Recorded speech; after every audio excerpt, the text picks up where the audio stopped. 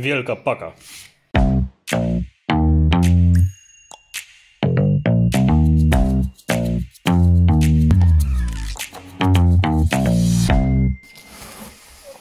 Kochani, dostałem wielką pakę od Spider Shopu, ale zanim sobie opowiemy, co jest w środku, to opowiedzmy sobie co nieco o samym Spider Shopie. Zapraszam. Wreszcie się ogoliłem i powiem wam, że sam się obstrzygłem na łyso. Super. Oszczędność czasu i pieniędzy niesamowita. Polecam wam być łysym. Jest git. Co się tyczy Spider Shopu, wchodzimy sobie w Spider Shop. Pyk. I mamy Spider Shop, największy sklep z pajęczakami w Polsce. Spider Shop jest to sklep, który zna każdy, a przynajmniej wszyscy. Eee, no, chodzi mi o to, że dużo ludzi zna ten sklep, ponieważ mają bardzo bogatą ofertę, mają fajną stronę, fajne ceny czasem na ptaszniki. Niektóre są drogie, no ale to jak w każdym sklepie, tak? Trzeba szukać dobrych ofert. I co my tu widzimy? Strona główna składa się z takich typowych rzeczy jak przedstawienie różnych zdjęć. O, widzimy harpę, to jest Xenestis jakiś pewnie, SP White czy coś takiego, jest Hilo i mamy eleganckie biotopy, tam gdzie występują ptaszniki. No i tu jest też zdjęcie obrazujące jak wygląda stacjonarnie Spider Shop, czyli tu jakieś gablotki, eksponaty, super. Polecane produkty, nowości i tak dalej, i tak promotion, no ale nic. Wchodzimy w zakładki, których jest dużo. Może najpierw tak, zacznijmy od końca, gadżety, gadżety. Czyli kubeczki. Takie kubeczki są super. Ja w ogóle chciałbym zrobić własny kubeczek, tylko muszę znaleźć odpowiednią fotę. Ale zrobimy sobie własny kubeczek. I maseczki można też zdobyć. Ciekawe, czy te maseczki mają atest, to jest pytanie. Uuu, podkładka z pająkiem, który jest moim turbomarzeniem, spełnionym turbomarzeniem, ponieważ tego pająka kupiłem właśnie w Spider Shopie. Jest to Aphonopelma more. Jest też piękna samiczka pewnie z Haploplastus devamata. Dużo różnych fajnych pająków. Są breloczki, kolczyki, chrząstki, łomat, kamień fluorescencyjny, czyli że świeci w ciemności. Są nawet skarpetki z pająkiem. Czajcie, to jest kozak. Dobra, skarpetki z pająkiem. E, to jest taki no, must have. Skarpetki z pająkiem. E, naklejki pod kontakt. Dobra. Wystrój. E, wystrój, no tutaj widzicie tego wystroju jest dużo i tego wystroju trochę zamówiłem, także to sobie zaraz odpakujemy. No to mamy kamienie, tak? Kamienie, skały, te fluorescencyjne, niefluorescencyjne to takie raczej dla gadów z tego co widzę. Mamy różne tuby korkowe i suszki i są też czachy. Czachy krokodyla, bla bla bla, czachy ludzkie, nieludzkie, diabły, jakieś kryjówki, Słuchajcie, dużo różnych rzeczy, kokosy, tutaj są też e, Trixie Konar, konary, no i tuby korkowe, dobra. E, są mchy naturalne, takie mech w stylu kamieni, jakieś inne suszki, porosty, dużo różnych rzeczy, porosty, porosty, porosty. Mamy podłoża, czyli torf kokosowy, czyli tutaj kora chico jakaś, piaski, niepiaski, e, drewniaki bukowe, to takie drewienka, mhm, dużo różnych podłoży. No mamy też włókno kokosowe sprasowane w takich kostkach, w cegiełkach, w wałkach. Spoko, w krążkach w sensie. No tutaj mamy suszone roślinki, tak, czyli, e, czyli wszelkiego rodzaju suszki, jakie możemy znaleźć. E, tutaj widzę lotosik, tu widzę mchy hiszpańskie, jakieś liście tropikalne, jest nasada liścia palmy, są nawet rozgwiazdy, super i takie siatki mm, właśnie zrobione z związanych mm, pnączy czy czegoś tam, suszone kwiatki. A, no i wrzośce. Wrzośce są super. Polecam wam wrzośce do terrarium, bo mi to, znaczy ja to polecam ogólnie do suchych terrariów, bo ja tu mam na przykład ubraszki auratum i to mi nie pleśnieje, więc jest spoko. Mamy też sztuczne rośliny. Zastanawiałem się, czy nie zamawiać jakichś sztucznych roślin, ale tutaj nie ma tego, co bym chciał. Znaczy, są dzbaneczniki i zobaczcie, te dzbaneczniki nie wyglądają źle jako sztuczne. No wiadomo, że nie są to prawdziwe rośliny, no coś za coś, tak? Ale wyglądają naprawdę nieźle, tylko że ich nie ma w magazynie. Szkoda. Mm, są jakieś kaktusy, nie kaktusy, bla bla bla. Liście róży, roślina M, tego nie znam. No i takie wiecie, jakieś dziwne rzeczy, których ja nie kupuję, bo mi się to po prostu nie podoba. Jeśli już kupujesz sztuczne rośliny, to one muszą być naprawdę dobrze wykonane. Dobrze, tuby korzenie, aha, czyli to jest też to, co było, jest tuby lekkie, tuby korkowe, także jak widzicie, wyposażenia w Spider Shop jest naprawdę sporo, jest spory wybór i zaraz zobaczymy, co tam mi przyszło, bo ja już nie pamiętam, co zamawiałem oczywiście, no, klasyka. Aha, jeszcze są tła tła, czyli kora prasowana, czyli właśnie liść palmowy, są płyty korkowe, spoko, siatki też się ratanowe e, wliczają do, do mm, teł, kora brzozowa i tak dalej. Fajnie. Przyrządy pomiarowe dalej mamy. Mm. Jeśli chodzi o przyrządy pomiarowe, no to termometry, hygrometry, klasyka też można kupić. Pielęgnacja. W pielęgnacji mamy, aha, inne akcesoria, witaminy, suplementy. W innych ak- akcesoriach, no to są spryskiwacze, czyli takie rzeczy. Wodospady, czyli generalnie rzeczy do obsługi wodnej zwierzaków. Coś dla gadów, czyli, czyli witaminki, czyli różnego typu suplementy, fajnie. No i pensetki. I pensetki e, plastikowa komodo, miękka za 25 zł. Aha. Pensety duże, średnie, bardzo duże. Penseta 50 cm, to jest w ogóle kaliber no, armaty, nie? Pojenie, karmienie. No to tutaj mamy więcej zras- zraszaczy i jest ten taki zraszacz ciśnieniowy, nie? Że tam się pompuje, naciska i psz, robi. Dobra, dobra, dobra. Co my tu jeszcze mamy fajnego? Ja chyba nigdy nie przeglądałem tak tej całej oferty Spider Shopu. Mamy michy z wodą, więcej spryskiwaczy, no i michy z wodą, no i wodospady, to co było poprzednio. Oświetlenie, czyli wszelkiego typu żarówki, ufałki, nieufałki, światła, także wszelakie typu rzeczy, które są potrzebne przede wszystkim e, gadom, czy płazom to nie wiem, ale gadom są potrzebne niektórym, bo też nie wszystkim. E, Także no mnóstwo żarówek, mnóstwo żarówek, super. To jak może kiedyś będę miał gada, to się tutaj odezwę i będzie fajny wybór tego. E, Co do ogrzewania, no to mamy wiadomo mm, hitpaki, mamy jakieś promienniki, mamy maty grzewcze, czyli wszystko, co jest potrzebne naszym zwierzaczkom. E, Kable grzewcze też oczywiście są, no i, i wszystko, co jest potrzebne zwierzakom do ogrzania się. Pojemniki. No to lecimy do pojemników. Tutaj styropianowych jest niedużo, no to styroboksy, to taka klasyka, ale mamy dużo pojemniczków, które są ekstra, na przykład to, no czajcie, te braplasty, ja widziałem też takie umorfa, one są świetne, z kółkami i z siateczką. Tylko, żeby, czy ta siateczka jest jaka?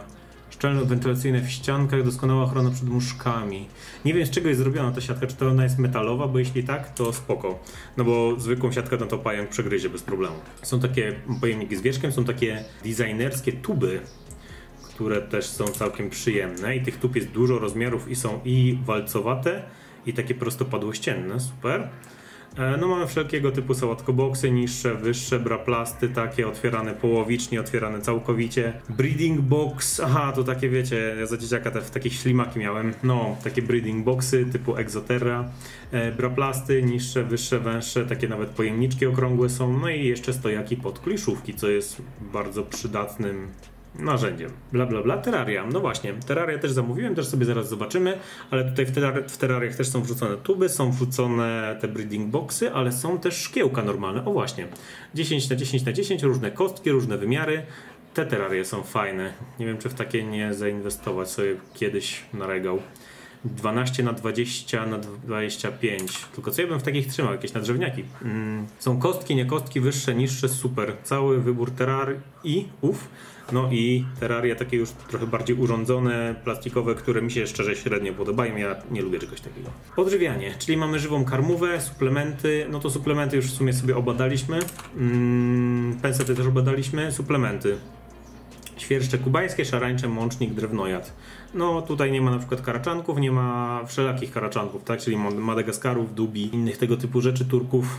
Gady, no właśnie. Z gadów mamy trzy. Mamy lamparty. Czajcie, jaki słodziak. Przeurocze stworki. Mamy lamparty, mamy agamy brodate, no i orzęski. Orzęski też są super. O, takie milusińskie. No i agamki. No to jest mała agamka brodata. Przejdźmy do tego, co interesuje najbardziej nas wszystkich i w tym mnie, bo zawsze jak wchodzę na stronę Spider Shopu, to klikam mm, sortowanie produktów od najnowszych, bo oni bardzo często wrzucają nowości i ja uwielbiam, jeśli są nowości, to, to sobie obczajać, co oni tam wrzucili na sklep. A propos Spider Shopu, to nie wiem, może ktoś to ogląda ze Spider Shopu, mm, mam nadzieję, bo chciałbym, e, nie wiem, jak się uda i jak dostanę zaproszenie, jak w ogóle będzie taka możliwość, e, to się udać tam do Sosnowca, właśnie do Spider Shopu, żeby nagrać jakiś fajny odcinek, bo tak jak no, robi to Kuba Zając, bo oni ma, tam mają niesamowite rzeczy właśnie w tych gablotkach, żywe, no cuda. I, I super by było takie kolabo zrobić to by było jedno z takich filmów, które bardzo, bardzo bym chciał zrobić. No nie wiem, zobaczymy, może się uda, może dostanę zaproszenie. E, Jest program lojalnościowy, który został wprowadzony z tego co wiem niedawno, no właśnie w 2021 roku, w tym roku. E, typu, że za każde wydane jednorazowo 50 zł dos- dostaje się naklejkę i potem 10 naklejek to jest 70 zł, czyli jakby za 50 zł dostaje się 7 zł na pająki. Taka szybka matma. Inne pajęczaki. E, A, no dobra, no to Filipusy i tu mamy to Everglades, tak to się nazywa? Everglades, powiedzmy, że tak. Ten, mnie rozbraja ta fota, on wygląda jakby był narąbany. No coś pięknego. Taka przymrużone oczko, taka samiczka śmieszna. O, jeszcze mamy w ogóle lykoza jakaś. Lykoza, a, czyli to jest ta, o matko, tarantula ukraińska. Lykosa pregrandis, no, to jest tarantula ukraińska. Mm, dobra, fajnie. Co tam dalej? E, inne pajęczaki, inne pająki. No tu jest Diplura sanguinean, spoko. Samce. Coś dodali nowego z samców? Bachma. O, Bachma już jest, bo Haplopelma SP Bachma, czy tam Cyriopagopus SP Bachma, aż się napije jer bez wrażenia, to no wczoraj jej chyba nie było. Była, mm, nie była na stanie. Super. Tu- jest dużo fajnych samców. Jest Ephebopus Ceanognatus, jest Mahala, Gienia, Romka, bla bla bla. Spoko. Jest Braszka Hamori, ale to chyba mała taka, nie? 2DC, no właśnie. Młode zobaczymy na końcu. Samiczki, oferty hurtowe. Też możemy zobaczyć pary na mystery boxy. No mystery boxy no to są tam od ile? Od 50 do 200 zł. Spoko. Fajne mystery boxy. Yy, maluchy na końcu. Samiczki od najnowszych. Zobaczmy. Cyriocosmus giganteus. Fajny jest ten pająk, podoba mi się. Mm, Jest też Braszka Hamori. Chromki, nie chromki, jest Nando Carapensis. Są Filipusy, Pseudoclamoris gigas. Przyjemne samiczki mają, no właśnie, Xenestis sp white. Eee, Masakrycznie piękny pająk, nie? Niesamowity. E, Są pulchry, super. Jest też ta Metriopelma. Eee, to jest taki maleńki ptasznik, bardzo przyjemny. Dobra, oferty hurtowe, no to widzicie, są takie, to raczej mnie nie interesuje, ale jest Xenestis Intermedia 10 sztuk za 2000. Także jak macie dwa koła, to wiecie, trzeba wydawać. Mhm. Parki. Parki i heringi. O, szkoda, że nie ma na stanie, bo i heringi to jest taki pająk, który też kiedyś tam mnie będzie interesował. Hamori, Gigas, Pulchra, bla bla bla. Dobra. Maluchy, czyli największa oferta maluchów. Spider ma bardzo bogatą ofertę, to trzeba sobie uświadomić, to trzeba im przyznać, że naprawdę tych pająków mają mnóstwo i dodają nowe i czasami zdarzają się takie rary, że jak na przykład More i takie rary trzeba wykorzystywać te oferty, mimo że no, no okej, no jeżeli mają to jako jedynie, to mogą narzucać cenę, tak, ale, ale trzeba to wykorzystywać, bo to jest oferta no jedna na tam ileś czasu powiedzmy, nie. Mamy e, Murinus R, e, RCF, czyli ta Red Color Form, Red Color Form, Formigohilus arboricola, bardzo ładny pająk, trochę nie dla mnie, ale jest przepiękny. E, Pamfobeteus SP Cascada. No, cudeńko, nie? Pampuchy, super. Haploclastus devamata, e, są Cyriopagopusy, to jest super. E, może sobie to kiedyś sprawię. Terafozida SP Cusco. Mm, Pseudoclamoris, no i Berapora diversipes. Ja czekam aż moja będzie taka ładniutka. No to jest na razie, wieszcie, pypeć taki mały. E, Pamfobeteus vespertinus, Psalmopeus ecclesiasticus. To jest też pająk, nad którym myślę, bo jest no złoty, jest przepiękny, taki aż różowy. Holotele longipes, no jest semanin, taka klasyka. Orfnecus filipinus, dobra, dobra, dobra. Czyli to są z nowości, ale mm, zobaczmy sobie cenę od najwyższej. No to wiadomo, selka jest najwyższa, L4. E, to było do przewidzenia. Ornitoktoninę SP Fankaj, czy coś takiego. Nie, nie znam się. Biru. Jest Biru, to jest teraz w zasadzie Birupes, Simuroxigorum. Jest Xenestis Intermedia, Terafozida SP... Ło, jest to dostępne, Terafozida SP Columbia. O damn.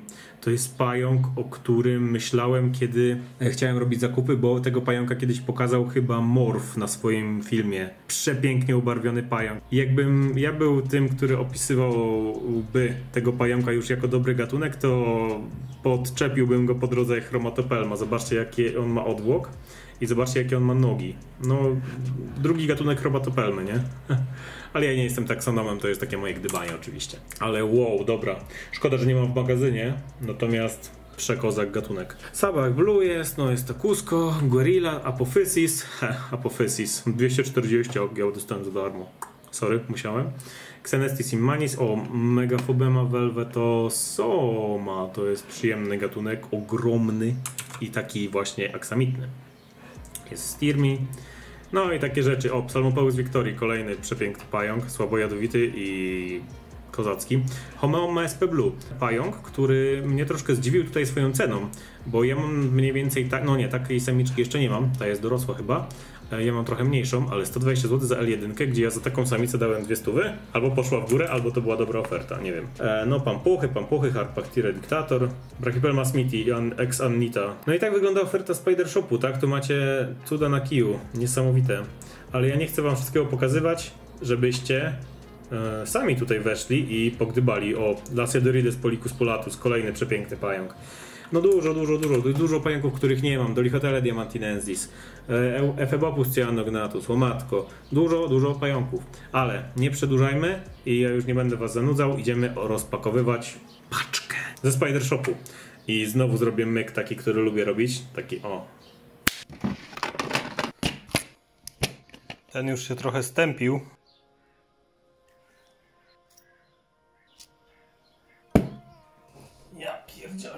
Ciężkie. Wcale nie zasłania całego kadru.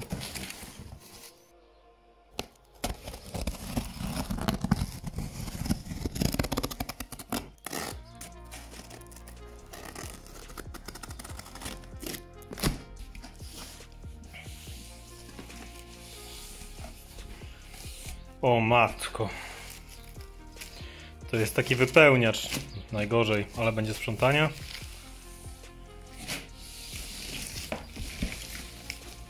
Uuu, fajne rzeczy tu już widzę.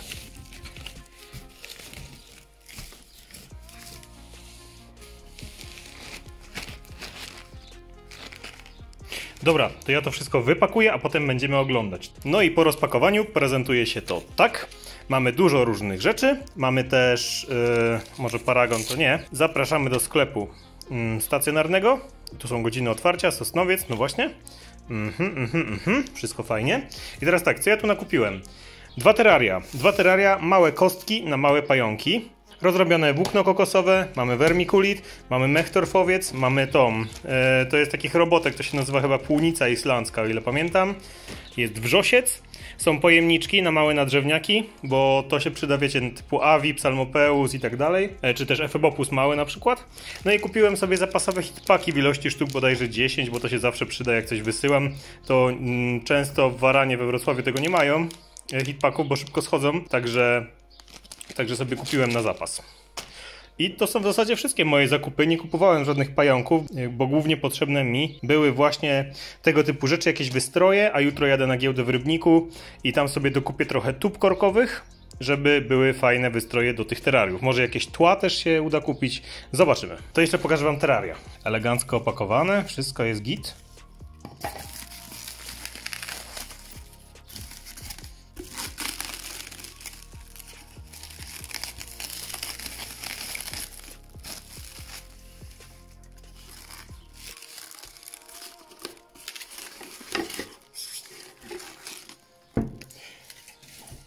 Jak widzicie, kupiłem dwie takie kosteczki, które są całkiem elegancko wykonane. Ja ogólnie lubię mm, terraria ze Spider Shopu, między innymi dlatego, że są właśnie estetycznie wykonane. Mają dwie wentylacje, tutaj i z góry. Tutaj jest jakaś etykietka sarna napisana, nie wiem o co chodzi. No, i jest ten taki dynks do łatwego podnoszenia szybki. I co w tym terrarium zamieszka? Totalnie nie mam pojęcia. Może biru, biru pessimior oxygorum, zobaczymy, albo jakiś skakun. No te terraria są cudne, nie? One są 15 na 15 na 15 to jest taka kosteczka. Bardzo ładne, super, bardzo mi się to podoba. I no i w sumie tyle. Jeśli chodzi o ten odcinek, to by było na tyle. Jeśli jesteście ciekawi, co zamieszka w tych terrariach i jak będzie wyglądał proces ich urządzenia, to obserwujcie mój kanał, a na pewno to się pojawi. Trzymajcie się, do zobaczenia w następnych filmach i cześć!